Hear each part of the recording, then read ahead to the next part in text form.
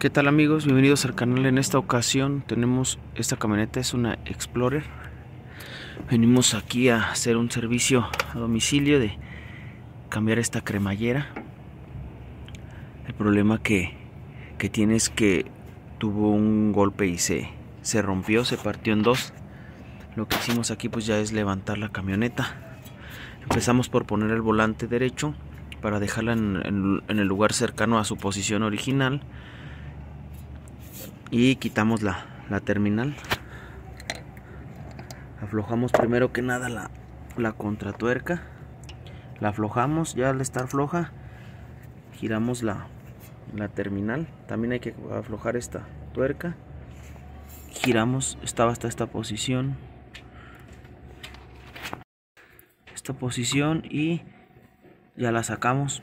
Contamos las vueltas para calcular más o menos en la posición en la que estaba puesta y no batallar tanto en aproximarla a su posición original para que se pueda mover y mandar a alinear. Contamos aquí el número de vueltas y vamos a a quitar la terminal. Aquí trae un, un hexagonal para meter la herramienta. Vamos a necesitar esta herramienta si no la tuviera con unas llaves Stilson. Podrían darle vuelta tantito media vuelta o una vuelta al volante para que esta, esta pieza salga. Y al estar aquí asomada por aquí pueden maniobrar aflojarla. Pero si cuentan con la herramienta pues mucho más. Mejor y fácil. Vamos a sacarla y continuamos. Ahí tenemos puesta la, la medida. Es esa que falta ahí. Una 716 la ponemos ahí ya está lista y vamos a presentarla. Lo que se le conoce como la bazuca la vamos a meter hasta acá y ya con desde lejos desde acá afuera pues ya con un maneral podemos apretar. Ok ahí quedó. Menos de un minuto. La pusimos ya queda atorada. Esta parte pues entra fácilmente aquí. Cuando la metemos entra aquí y por seguridad le giramos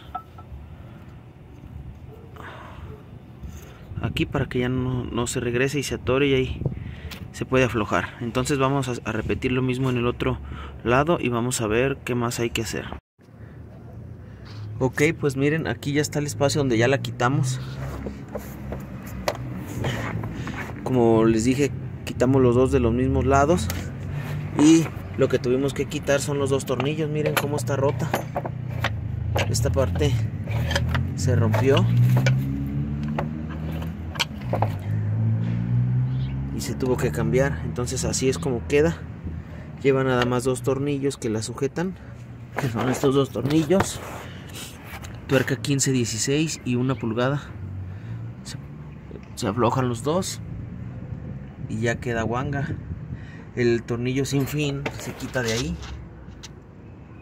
Es un tornillo de tuerca 13 13 milímetros se afloja igual el volante centrado y ya está libre. Batallamos para quitar esta manguera porque no había espacio. Lo que hicimos fue quitar los dos tornillos de aquí recorrerla un poquito pero ni aún así pudimos. Entonces qué hicimos quitamos las mangueras que van aquí. Porque por acá no había chance de meter la, la, llave ni siquiera de las llaves que están abiertas de el lado de ojo chocan aquí no había chance.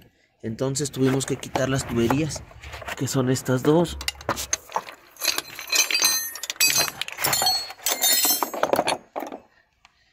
Una va aquí. Esa la quitamos y la otra que va acá arriba. Ahí está. Entonces pues ya quitando esas tuvimos chance de por aquí a un ladito meter la llave y aflojar. Esta no hubo problema en quitar porque va de aquí al enfriador. Entonces eso fue la maniobra. Ya después de ahí empujamos hacia un lado la barra para poder sacarla de un lado por aquí y luego ya la jalamos tantito y salió así de lado, salió por aquí, por esta parte. Entonces eso es lo que nos topamos para cambiarla, vamos a esperar que nos la traigan y vemos si podemos grabar algún detalle más de cómo ponerse. Ok, ahí la tenemos presentada, todavía nada más la, la metimos, la compraron usada de un yonque no, ya la revisé, quité los cubrepolvos y se ve sana, se ve que no, no tiene fugas.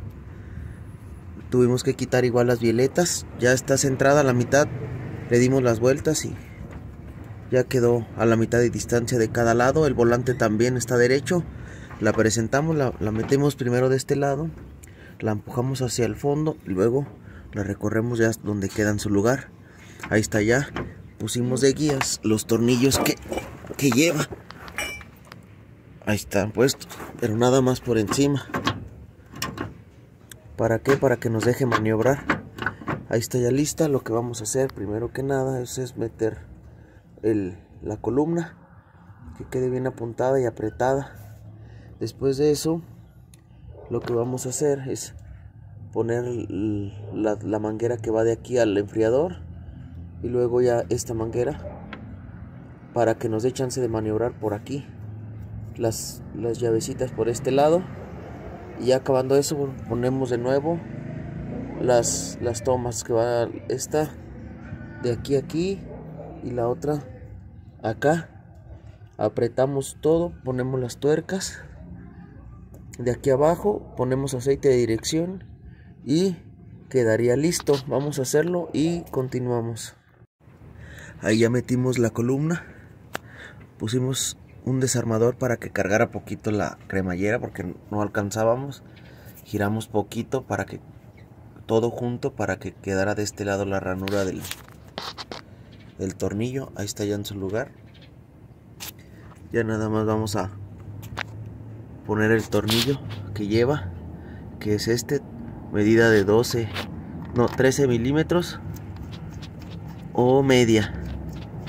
Ya queda en su lugar se aprieta y lo vamos a regresar a su lugar a donde estaba porque este estaba de aquel lado nada más que no entraba el tornillo por acá entonces lo giramos junto para no batallar y ahorita que ya lo apretemos lo regresamos a su lugar para que quede de nuevo alineada la cremallera y al momento de poner las violetas no, no batallemos y quede lo mejor que se pueda. Vamos a apretarlo ya nada más y lo ponemos en su posición. Ok ya apretamos las dos mangueras principales y ya están apretados los, tornillos de la cremallera ya nada más nos falta poner el enfriador que va así de esta forma igual en la otra. Pero antes de poner eso lo vamos a hacer a un lado poquito porque necesitamos poner las, las otras dos tuberías las que van aquí de aquí a aquí. Entonces vamos ya nada más a terminar eso para ver el resultado final. Ok pues ahí ya terminamos, ya está puesto todo, el enfriador, las mangueras, todo apretado, ya nada más vamos a poner esta abrazadera en, el, en, este tubo y ponemos violetas para concluir.